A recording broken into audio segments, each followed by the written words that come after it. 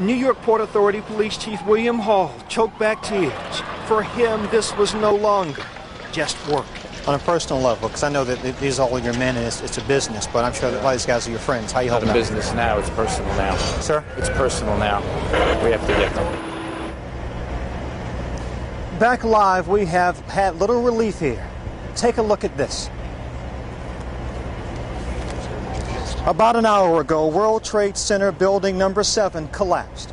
A 42 story building, weakened by the devastation that had occurred earlier today. No word any casualties in the building. It was the one calamity that was not a surprise. Police had evacuated the area hours ago. Fearful building number 7 would indeed fall down. This morning, when tower, the first tower collapsed, I was standing about three blocks away with CBS News correspondent Mika Brzezinski. As a fireball rolled toward us, Mika grabbed her shoes, I grabbed her hand, and we ran like hell. Thousands did. Dan, except for a few sirens, I have never heard New York City this quiet. Graveyard quiet. Dan. Byron Pitts in lower Manhattan.